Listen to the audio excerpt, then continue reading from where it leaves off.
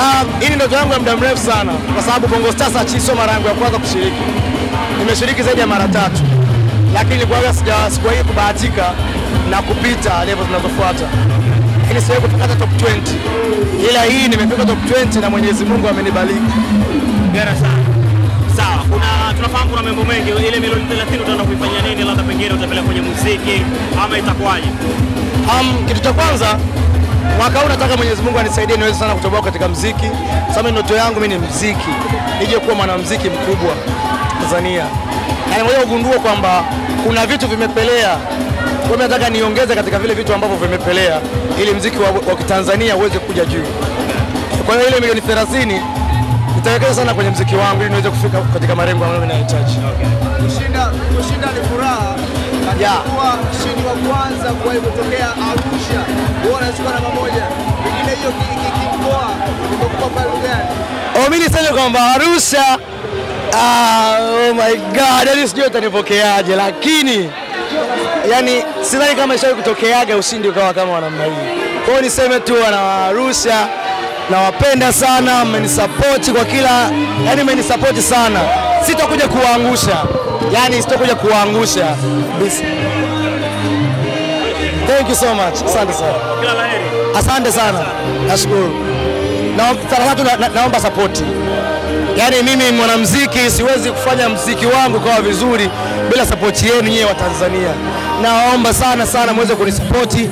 Naitwa Razaki Adamu, ukiingia kwenye YouTube, ukiingia Instagram, TikTok, uh, Twitter, kote natumia Razaki Adamu na Hapo hapo hapo nataka kuuliza kitu kimoja.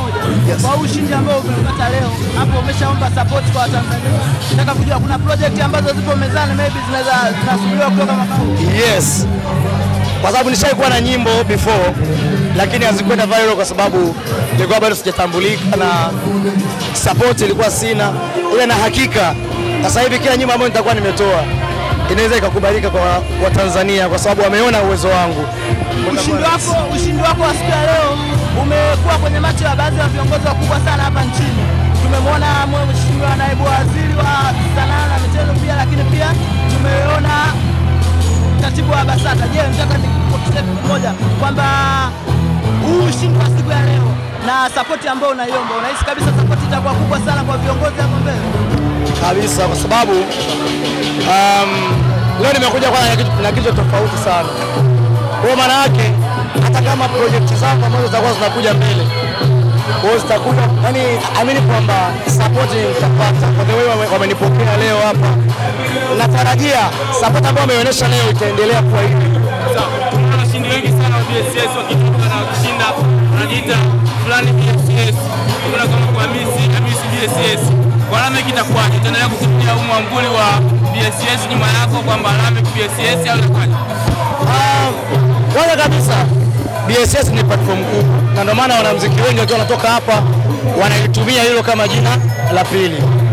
Kwa maana yake najivunia sana, najivunia sana kuwa mwanafamilia wa BSS na najivunia kujiita Razaki ya damu BSS.